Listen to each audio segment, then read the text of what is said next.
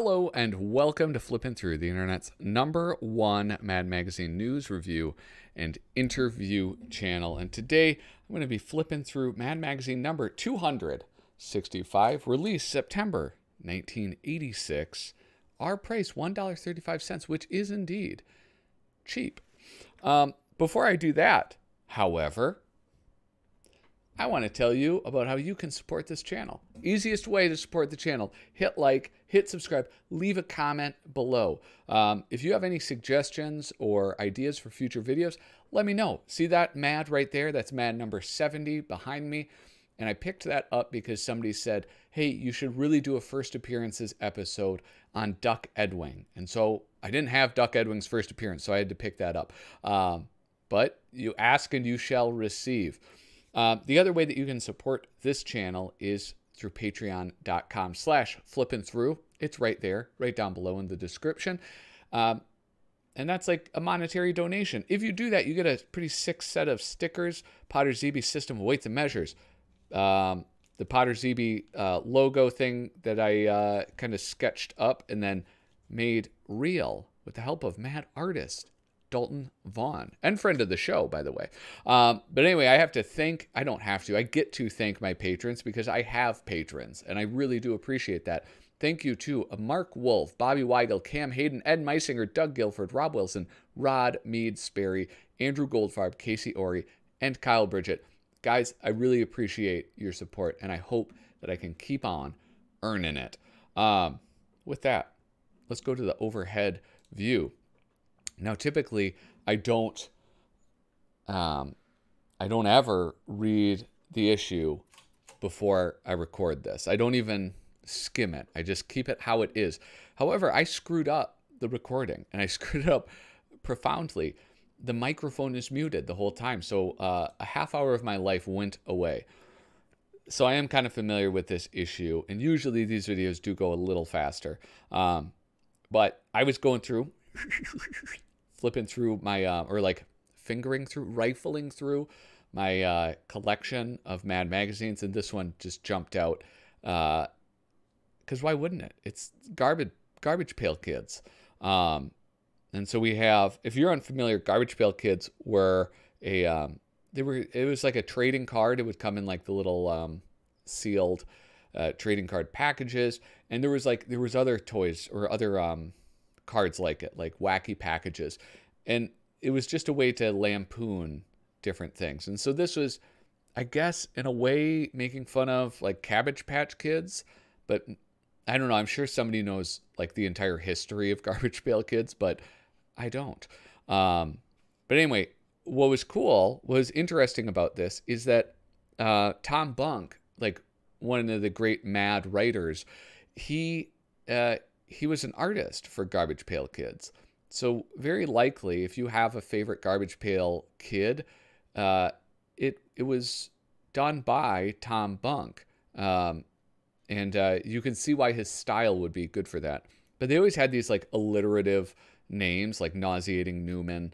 Um, but this precedes Tom Bunk's um, arrival at Mad Magazine. Tom did not arrive until like the 90s. Um, Anyway, then we have Down and Out in Beverly Hills and Hannah and her sisters. Um, right in here, we have a beautiful ad for the winter 1986 Super Special. Typically, I do try to guess all of these. I'll tell you what, I did not guess them all right. I think when I first did it, I got one, two, three, I got four right because this is Mort Drucker and that's George Woodbridge. And I did not get either of those right. Um, anyway, here we have. Um, uh, I, like, listen, I, I just filmed this yesterday, but I forget who this guy is already. Muammar Gaddafi. We have this like Newmanized Muammar Gaddafi um, cartoon by, I don't know, somebody. This is, oh, from the Greenville Piedmont News. I imagine, I don't know, maybe it was just their cartoonist, their house cartoonist. Uh, what me worry, Momar is saying. Um, I do like this part right here. Uh, the bill to a magazine publisher, to William Gaines, publisher of Mad, from Mike Lowe, address unknown. Psychiatric care to date 11K. cost of education wasted 64k. You know this this dude went to a nice school. This is the 80s and it's 64k. Um, barf bags $78. Total charges 75k. Total cost of magazine $1.35. Cheap. Balance owed me $75,685.69. I enjoyed that. And I do like that they didn't even they didn't even issue a response to it. They just uh um Oh, I didn't notice this. Okay, they just uh, let it hang there. The Mad Minute update.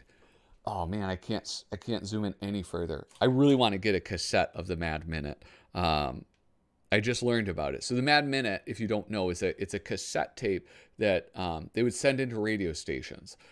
I don't know if it was weekly or daily, um, but then the station would play it. It was just like a short syndicated thing. It might be like um, I don't know. They they have lots of things like they used to have a lot more. Um, anyway. Mad Minute update. Here's something you least expected a Mad Minute update. The Mad Minute is now entering its third year. What are Mad Minutes? Oh, look at they're going to explain it better than I did. Um, they are 60 second bits of silliness, bold, badly written and poorly performed by longtime Mad writer Dick DeBartolo. We don't expect much from Dick, and he never disappoints us. The Mad Minutes are sent free to 120 DJs across the country and are heard on 130 armed forces radio stations around the world. Yes, our armed forces. If you know a local radio station DJ or a college radio station DJ who would like to receive the Mad Minutes, nine Mad Minutes are sent out every seven weeks. Have them drop us a line on station stationery and we'll do the rest. Send request to the Mad Minute. Da da da da. I like that. I but um, I really want to get some. I I wonder how many there were in total. But to me, that seems like a pretty limited collectible. I imagine that would cost a fair amount because there were only 120 produced. Well, no, actually, then there's 130. So 250 produced. Still, that's pretty low numbers. Um, Hannah and her sickos. Um, I have to admit, I've never seen this. I've seen about five Woody Allen movies, um, which I liked. They were good enough, I guess. Um, but uh, you know, he just is always the same person, right? It's it's usually like a story with interesting actors and talented actors and Woody Allen. Um, so I don't know. I it's uh he's funny, I guess. I don't know. I'm just uh, I was just never that big into them. Um, here we have the video maladies. Uh, it'll be necessary to adjust your horizontal hold for the following article. so I turned it. Anyway, that is funny. I didn't catch that. For the past couple of years, a new illness has been sweeping America. Its symptoms are painful, its effects debilitating, and no one ever really recovers from it. We at MAD wanted to alert our readers to this scourge and assigned one of our top investigative reporters the task of researching and reporting on it. Unfortunately, he died, so we're going to have to fill the next three pages with the following diseased article called Video Maladies. And I love this. Some Duck Edwing and Harry North, they're doing the art on this, which is curious. Like, I don't know. It's it's just interesting that they're that they teamed up on that. It's not like it, it's who did what. I guess maybe these are Harry North, and then like these did they like is it like a jam cover or something or like a jam thing where they each did different parts of it? But this is pretty great. A little baby choking to death. Um, anyway let's keep going. So we'll go here at the top. Here we have uh, the video store tape reading next strain oh shoot it's all blurry this is all this is all vcr humor if you didn't pick up on it. Um, now, there are, um, I don't know, um, for those of you who don't, here, I like this one, who don't remember, there was a thing called a video. Who am I kidding? I listen, I looked at the demographics. Everybody who watches this channel is old. You all remember the video store. um, uh, but the video store, I think, is is truly one of those things that has died off. That it's uh, it's regrettable. It's regrettable that it no longer exists. But it's also, you know, what are you going to do? You can just stream everything. It's there's truly no purpose in having it. the The sad thing is, is be, that it was so great to go to, to like go through and you just like sort of discover uh, something new that you just try out, rather than like Netflix. Netflix just feeds me whatever it is they think that will keep me watching. Um, so I don't get new and exciting things all that often. You could like you could ask you could ask another person to be like, "Hey, do you have a good action movie that you would recommend?" And then they would like sell it to you. You know, they'd be like try to like pitch you on Die Hard or something. Um, anyway, so that's like I miss video stores. Um, the I've already seen every cassette in the store. Sweats and jitters. Um, the overactive VCR tape ejector face injury. Oh, this is the one. Um, the forcing yourself to watch a lousy movie just because you're paying rent on it. Narcolepsy. That would remind me of like being a kid and sometimes renting a movie and then realizing it was just garbage and trying to run back to Mr. Movies in time where I could like get a different movie and still be able to watch it that night. That did not happen very often. Yeah. Here we have another edition of the Hate Book, this time a themed one. And boy, it's beautiful. The Mad Sports Fan Hate Book. Um, don't you hate when you discover that your favorite ball player is a junkie? No, no, because that doesn't. I think like frisbee golf players are all junk. Like we know they're all, they're all weed heads, you know. So it's uh, not a surprise. This is beautiful artwork though by um, by Jack Davis, um, and I had I think I may have shared like said something on Twitter about it. Um, I had this moment where I was like I saw a Jack Davis piece of artwork. It was like a skin diver, and there was like in a clamshell there was like a creature from the Black Lagoon type character and it made me real. I'd like I just thought, how awesome would it have been if Jack Davis got to do a run on Batman? I mean, because he's like he's better than any Batman artist at the time. Like, just imagine that level of uh, artistry and um, like just this stuff, like being able to capture, you know, the uh, what is that called? Like posture or like figure drawing right? That's what he's i mean one of the many things that he's just fantastic at. Don't you hate when a stadium has dozens of beer outlets but only three toilets and two of them are out of order? When i was a kid the metrodome they just had a big trough.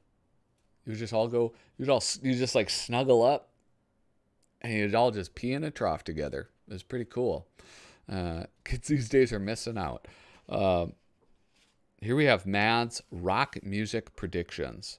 Um, this was this was so so as far as writing goes, but I did think it was somewhat interesting to see um, Paul Coker doing drawing like caricatures of celebrities, right? Like seeing Prince right there. Um, it's kind of interesting. Here's like Tina Turner, I guess, with like just wild hair. I'm assuming that's Tina Turner. I don't know. I didn't actually read the whole thing. Um, but it's great. I mean, he has like, I, I like his style. This is like, he's sort of pushing it. I like him more in like a compact area, but this isn't too spread out. So I think it still works pretty well. And here is just some beautiful Al Jaffee artwork. Follow up report on progress. Whoop. Everything that's new and modern. A giant step forward for mankind? Hmm? A tiny step forward for womankind?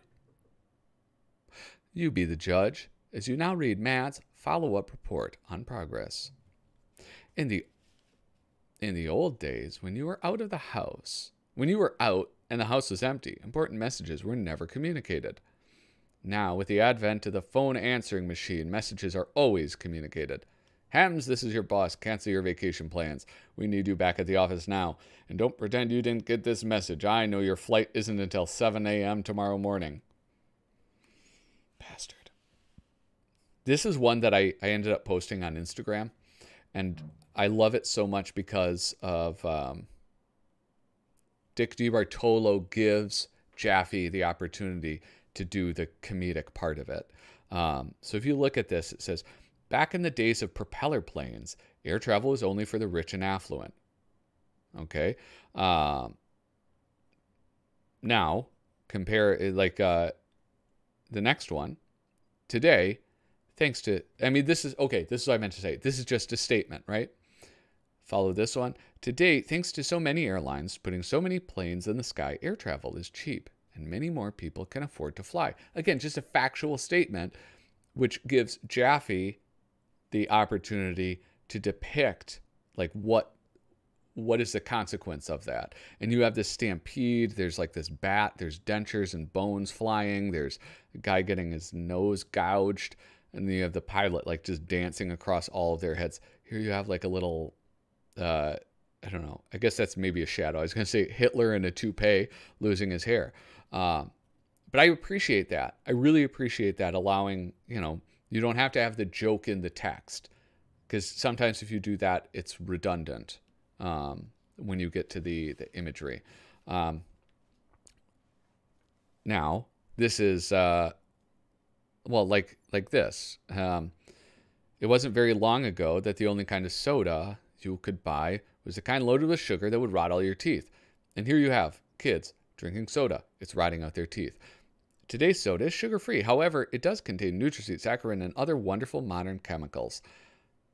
Now, here's a nice subtle joke. Is that subtle? I don't know. But he's holding this vial up, and the vial looks like a skull. Um, but I thought this was, this is honestly like really, this is a fantastic, fantastic gag right here. This whole thing. Oh, here's my man Peter or Paul Peter Porges um, cat thoughts. This is another one that was really good. This is like if Garfield, if Garfield was like uh, high tea and actually said like badass stuff rather than just like is mean to a dog. Look at him. Schmendrick, you're standing in my litter box. Right? I love that. If this is, do you know what this would be if this is Garfield? It would say, uh, hey, John, could I get more lasagna? Or something. I don't know. Back off, doll. I'm altered. And the good news is there's six more where this came from. Walking in with a little cat. And here, that's her having me declawed. I don't know. I enjoyed this one very much as well. Here's a beautiful, beautiful spy versus spy. Um, I like the use of I don't know. Do I like this use of space? I do, I think. Um, but what I like about it is two weeks in a row, we get a view of a Prohias that has a um, something other than a spy, right? I like how he draws the people. So look at, he's on his typewriter, kill the black spy. He writes, kill the white spy.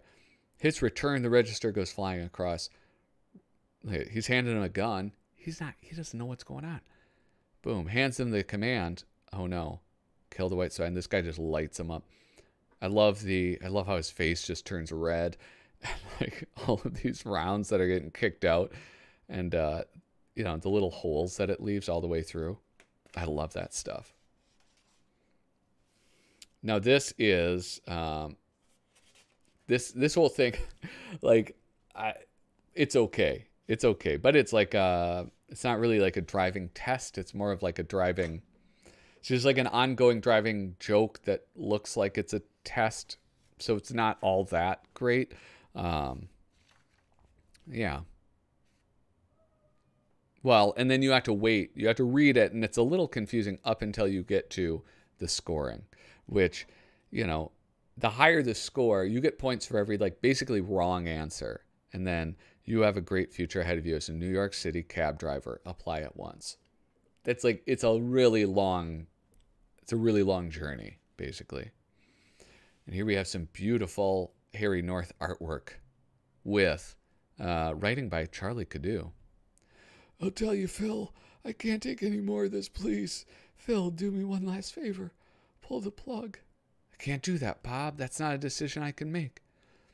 but it's sheer torture. Can't you understand that? If I was strong enough, I'd pull the plug myself. You shouldn't be talking Bob, that way, Bob. Can't stand it anymore. I'm going nuts. Please, I'll give you my house, my car, anything. Just pull the plug. All right, all right. I'll pull the plug. And it's Wheel of Fortune. I mean, maybe not the best, but whatever. It's kind of this though. This I'm going to spend time on, which is the Reagan, um, Gerry Gersten with this like. I just love this. I absolutely love this illustration. It's just, it's beautiful. Um, I really enjoy that style. The Reagan, with apologies to Edgar Allan Poe. Um, I'm going to stay zoomed out, but I'm going to read this whole darn thing. Um, writer is, I'm sure you could guess, Frank Jacobs. Once upon a cold November, back in 80, you'll remember, came to pass a great election with a wondrous change in store. By a landslide, one was winning, promising a new beginning. Tall and proud, he stood there grinning, like so many times before. Who was he, this cool one, grinning, like so many times before? 'Twas the Reagan, nevermore. Once he was inaugurated, Reaganomics he created, promising a balanced budget like we had in days of yore. Though, he said, our debt is growing, and a bundle we are owing, I'll cut taxes because I'm knowing this will save us bucks galore. Please explain, a newsman asked, how this will save us bucks galore. Quoth the raven, Reagan, Less is more. Pushing for defense, he pleaded brand new missiles would be needed. That's the only way, he said, to keep the country out of war. True, he said, they're not required, and they're not meant to be fired. In five years they'll be retired, still we must build hundreds more. Tell us why, a newsman asked. We must be building hundreds more. Quoth the Reagan, jobs galore. Was he real or from a movie? Make My Day sure sounded groovy, standing up to Congress or the rebels in El Salvador. Flicks like Rambo he promoted, several times it should be noted. Once John Wayne he even quoted when Gaddafi threatened war. Does this mean, a newsman asked, we're heading towards a Mideast war? Quoth the Reagan, hit the shore. this last uh, lines three and four of this last stanza, I I'm I love so much, so I might even read it twice. During times he wasn't dozing, many plans he was proposing, dealing with the deficit which he no longer could ignore. Cuts, he said, I'm recommending, pending are ascending spending, with attending trends suspending, then extending as before. Does this mean, a newsman asked, a balanced budget like before? Quoth the Reagan, nevermore. I just, I, it's just beautiful. I love this whole thing. Frank Jacobs is a genius.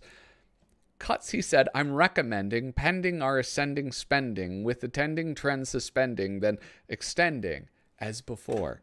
My God, he's just the best. He's absolutely the best. Um, here we have Don Martin looks at weddings.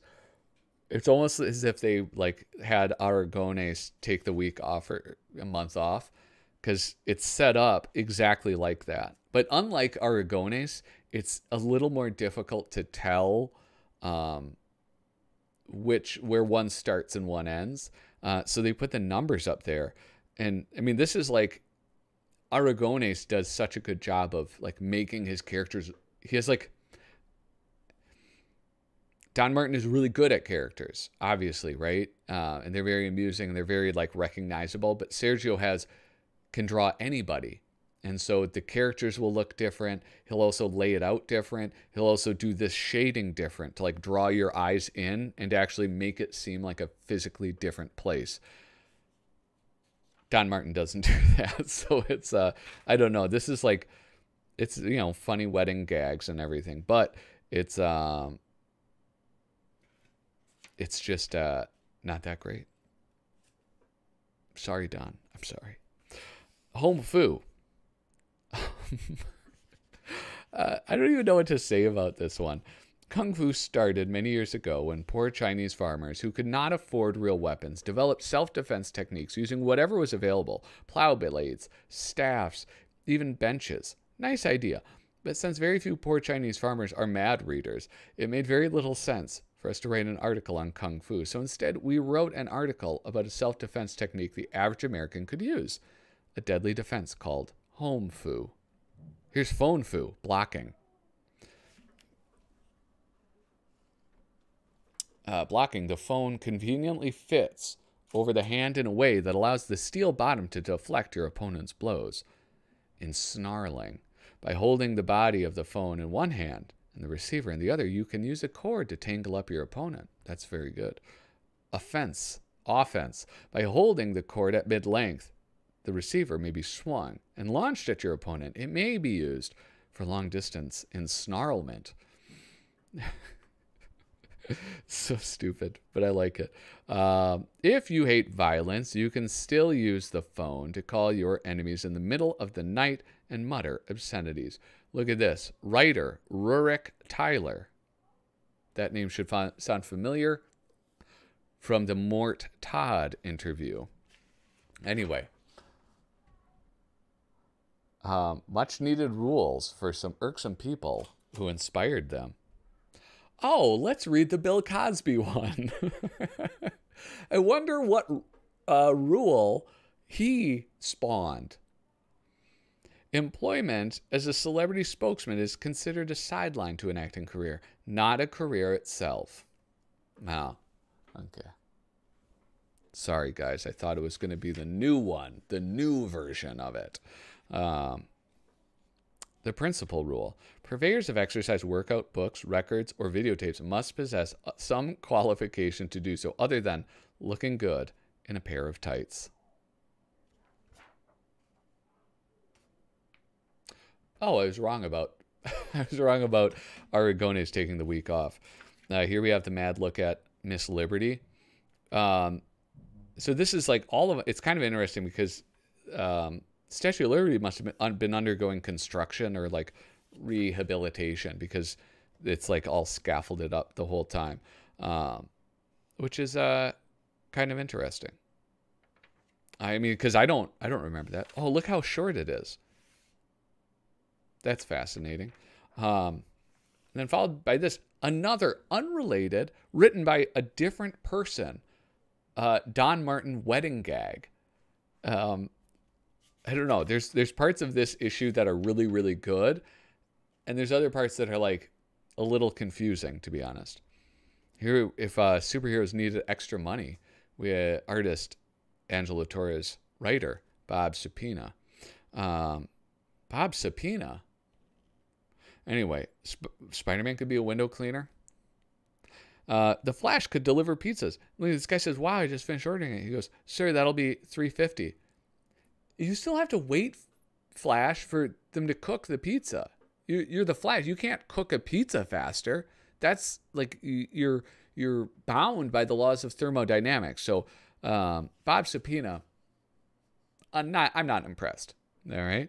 Um, and I just I really liked this. Again, the joke is so-so, but the art is fun on this one, especially uh, the Human Torch um, being a campfire. I thought that was kind of cute. And now here's something that is um, absolutely just gorgeous illustrations by Will Elder and Harvey Kurtzman. Um, I, you know, he came back for this, but this is this is almost too hot for YouTube. All right. You know what I'm saying? You know what I'm saying? Um,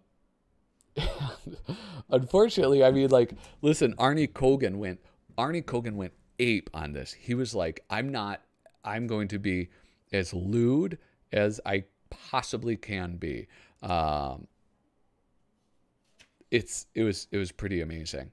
I don't know. I feel un. Listen, I feel uncomfortable. I know I'm prudish. All right. So uh, save your comments. No, comment below. You you should do that.